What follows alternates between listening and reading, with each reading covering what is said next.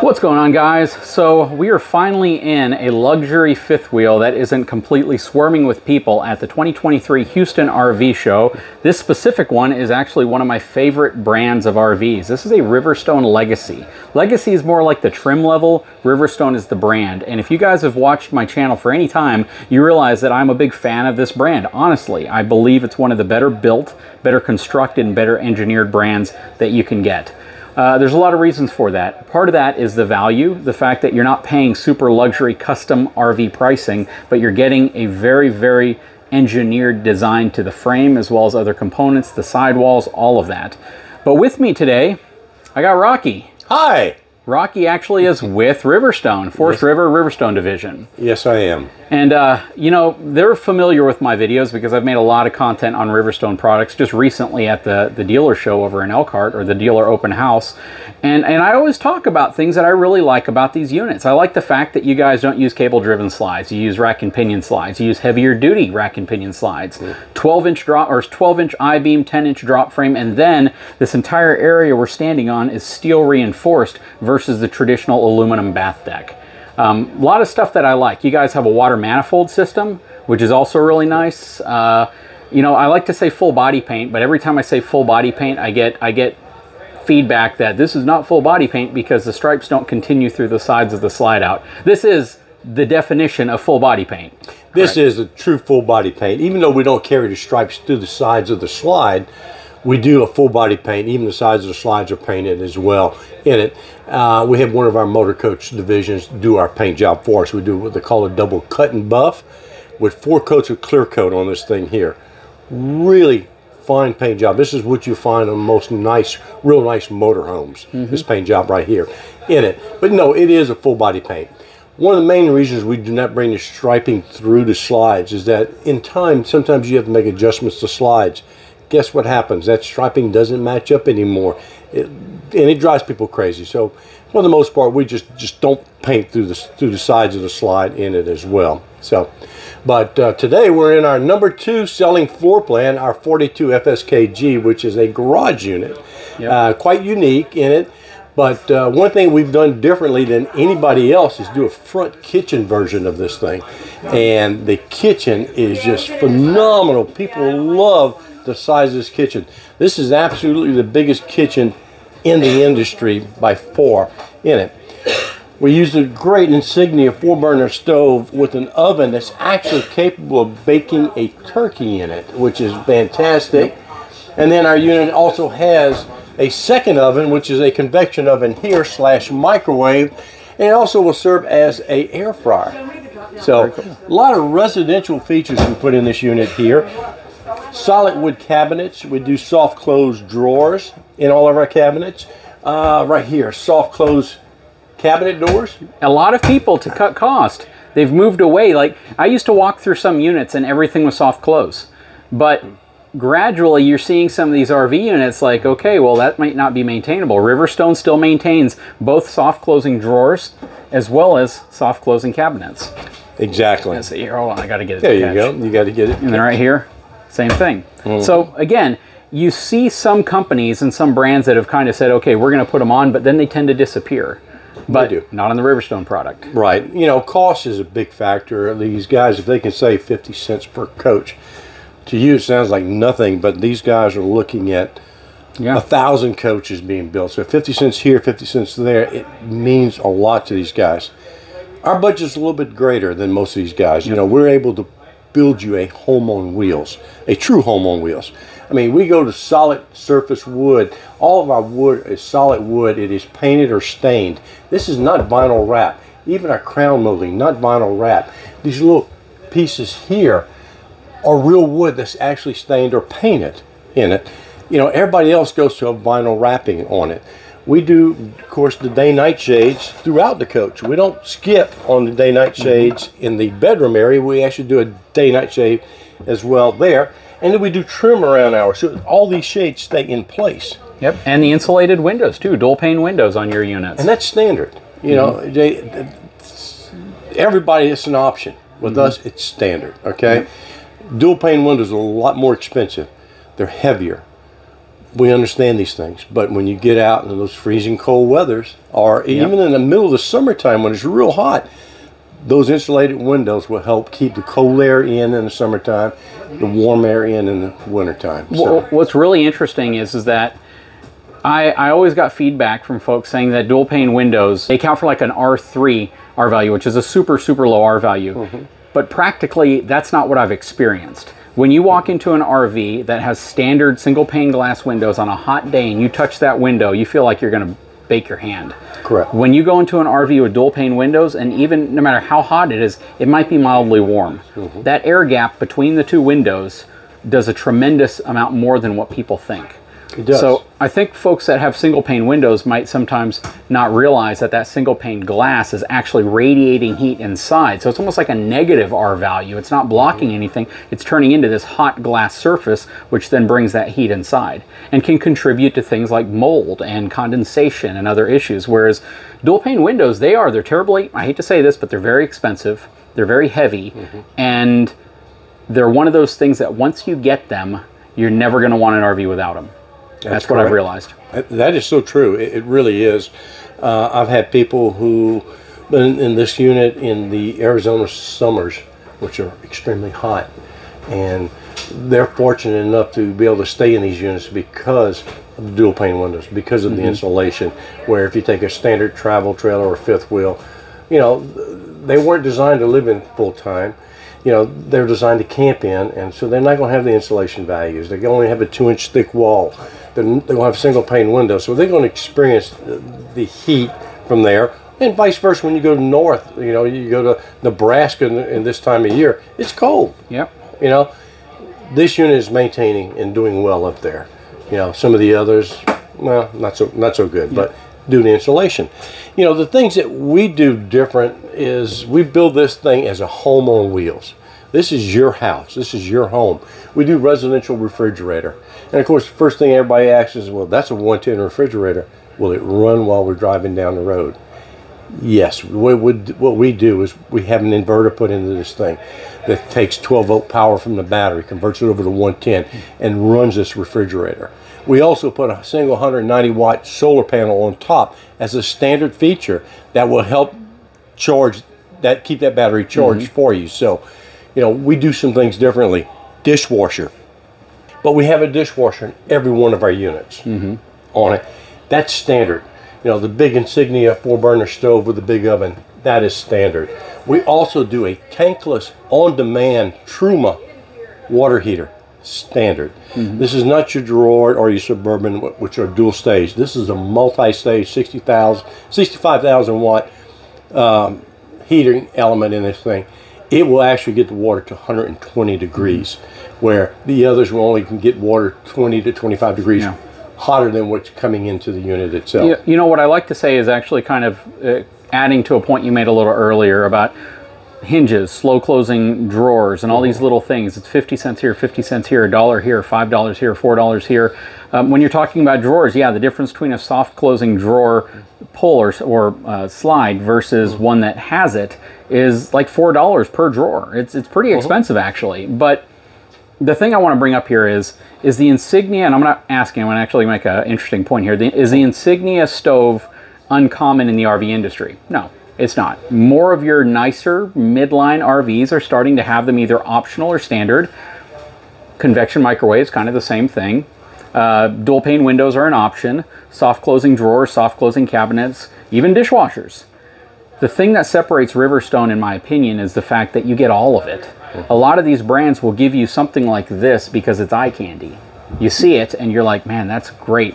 This is the reason why I should buy this RV. But then you go to the microwave and it's a standard microwave. Or you go to your windows and they're standard single pane windows. Or you don't have a dishwasher even though there's a spot for a dishwasher. Mm-hmm. Or you don't have a washing machine, which I'm pretty sure you're probably going to have a standard washing machine in this washing unit. machines, washer and dryer, the two-piece washer and dryer is standard for Riverstone. You buy a Riverstone, you're automatically going to get that in your coach. What about AC units? We have it comes standard with two 15,000 high performance, low profile, quiet cool ACs. Every one of my dealers order, orders it with the optional third mm-hmm. air, which is another 15,000. So So that's three 15,000 BTU high performance, low mm-hmm. profile ACs that's on this unit.